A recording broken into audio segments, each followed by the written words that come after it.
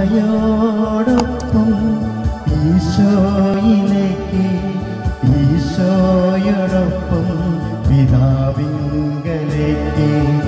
അമ്മേ എന്റെ അമ്മേ അമ്മേ സ്നേഹനാഥേ.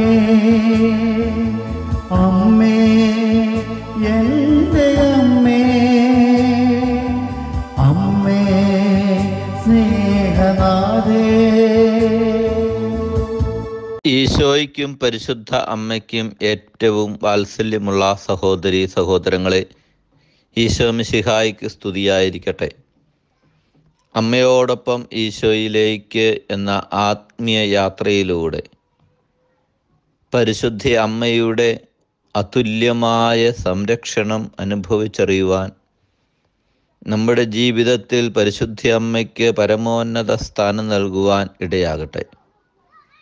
ഇന്നത്തെ നമ്മുടെ ചിന്താവിഷയം മധുമാതാവ് എന്നുള്ളതാണ്. ശ്രീലങ്കയിലെ മാന്നാർ ജില്ലയിൽപ്പെട്ട പ്രസിദ്ധമായ മരിയൻ തീർത്ഥാടന കേന്ദ്രമാണ് മരുധ മധു എന്ന സ്ഥലം.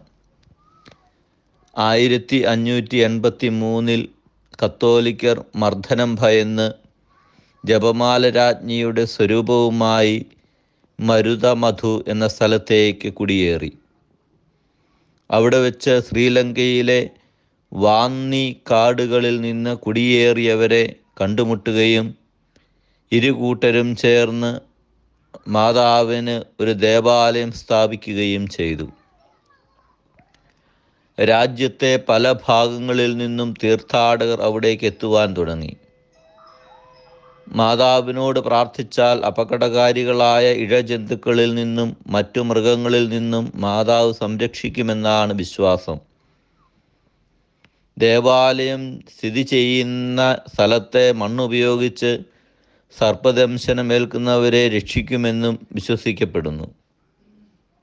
ജാതി മത ഭേദമന്യേ കിഴക്ക് നിന്ന് സിംഹളക്കാരും കിഴക്ക് നിന്നും വടക്കു നിന്നും തമിഴരും ഇവിടെ പ്രാർത്ഥിക്കുവാൻ ഒരുമിച്ച് കൂടുന്നു.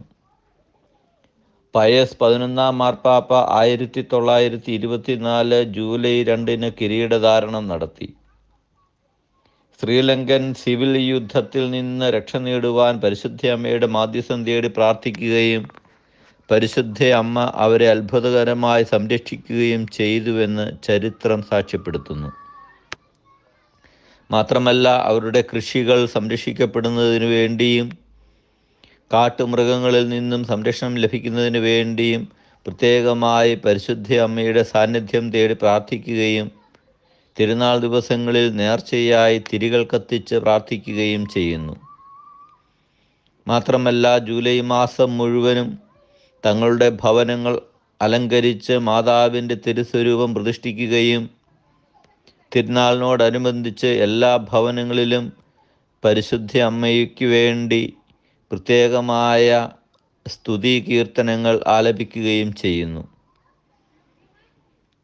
ഹിന്ദുക്കളും മുസ്ലിങ്ങളും ക്രിസ്ത്യൻസും മറ്റ് മതത്തിൽപ്പെട്ട ബുദ്ധമതക്കാരുമായ അനേകർ ഈ ദേവാലയത്തിൽ വന്ന് പ്രാർത്ഥിക്കുന്നു. അതുകൊണ്ട് പരിശുദ്ധ കന്യകാമറിയം സർവ മനുഷ്യരുടെയും അമ്മയാണ് എന്ന ബോധ്യത്തിലാണ് ഈ പ്രദേശത്തെ ജനങ്ങൾ പരിശുദ്ധി അമ്മയെ വണങ്ങിപ്പോരുക. സ്നേഹമുള്ള സഹോദരി സഹോദരങ്ങളെ യേശു ഈ ഭൂമിയിൽ അവതരിച്ചത് സർവജനങ്ങൾക്കും വേണ്ടിയുള്ള രക്ഷകനായിട്ടാണ്. അതുപോലെ തന്നെ സർവജനപഥങ്ങളുടെയും അമ്മയായിട്ടാണ് പരിശുദ്ധ കന്യകാമറിയവും വണങ്ങപ്പെടുന്നത്. പ്രത്യേകിച്ച് ക്രൈസ്തവരെന്ന നിലയിൽ പരിശുദ്ധ അമ്മയെ കൂടുതൽ ബഹുമാനിക്കുവാനും സ്നേഹിക്കുവാനും സ്തുതിക്കുവാനും കടപ്പെട്ടവരാണ് നാം എന്ന ബോധ്യത്തോടെ ജീവിക്കുവാനും. പരിശുദ്ധ അമ്മയെ നമ്മുടെ ജീവിതം വഴി മഹത്വപ്പെടുത്തുവാനും ഇടയാകട്ടെ.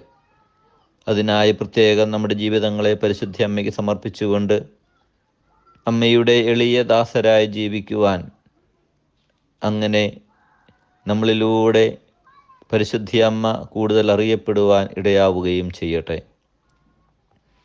നമ്മുടെ കർത്താവ് ശിഹാട് കൃപയും പിതാവായ ദൈവത്തിന്റെ സ്നേഹവും പരിശുദ്ധാത്മാവിന്റെ സഹവാസവും പരിശുദ്ധിയമ്മയുടെ മാധ്യസവും എല്ലാ തിന്മകളിൽ നിന്നും മാരകമായ രോഗങ്ങളിൽ നിന്നും വിഷജീവികളിൽ നിന്നും സംരക്ഷിക്കപ്പെടുന്നതിന് വേണ്ടി പ്രാർത്ഥിക്കാം.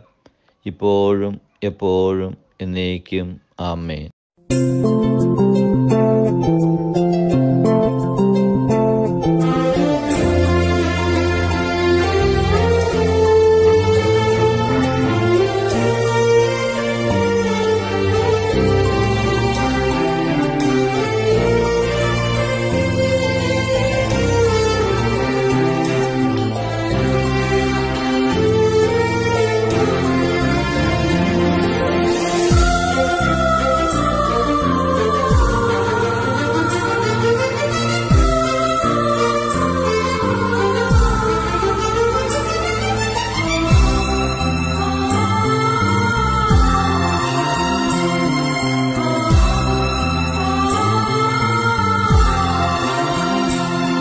നിന്റെ തകർച്ചയിൽ ആശ്വാസമേകാൻ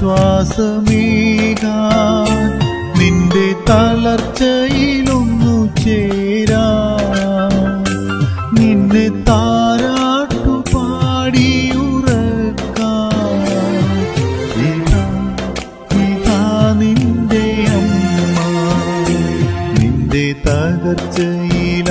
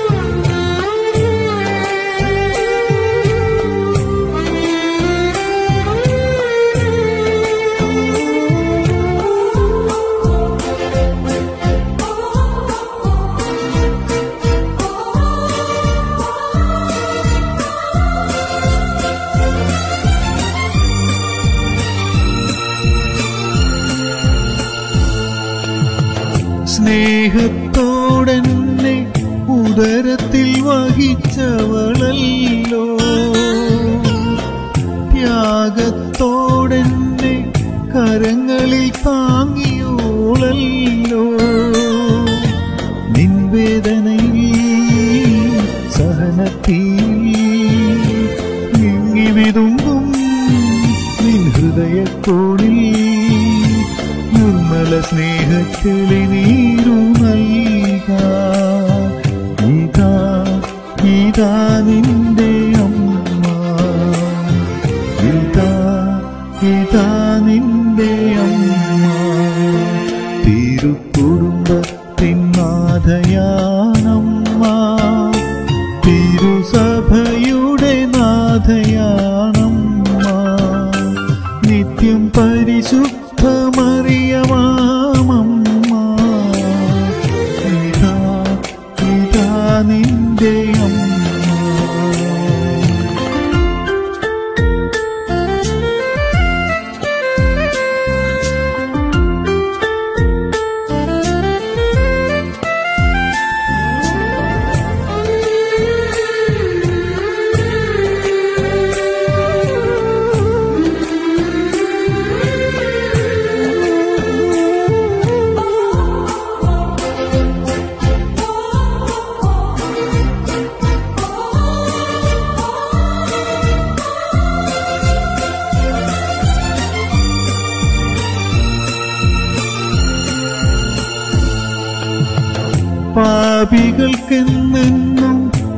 ആശ്രയമായവളല്ലോ.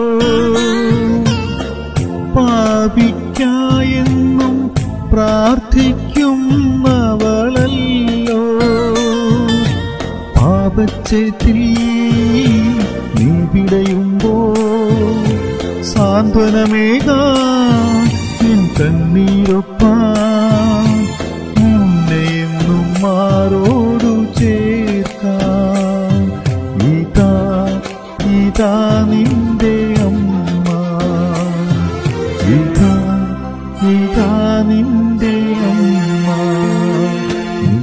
തകർച്ചയിലാശ്വാസമേകാം